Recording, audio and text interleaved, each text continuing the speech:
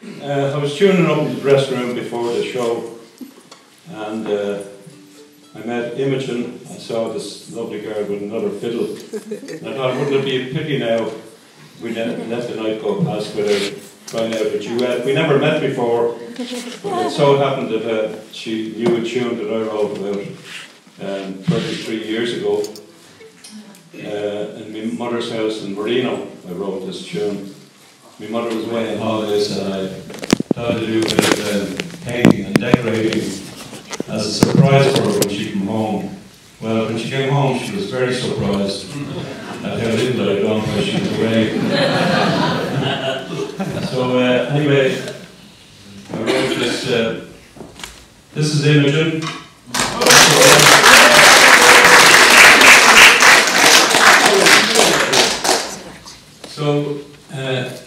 Very uh, rewarding for somebody who writes, like myself, writing tunes that uh, a whole new generation of young people uh,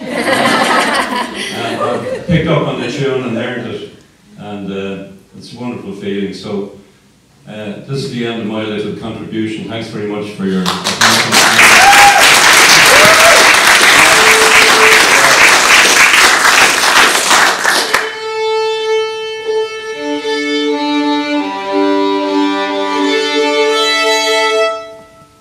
from think.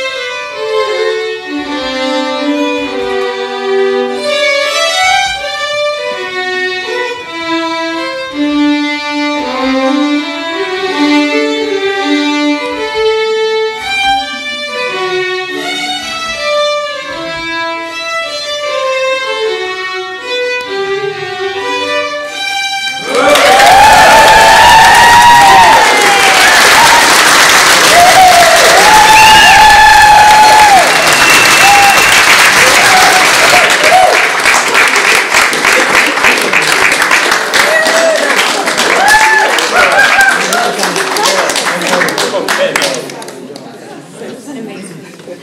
Nice. Lovely.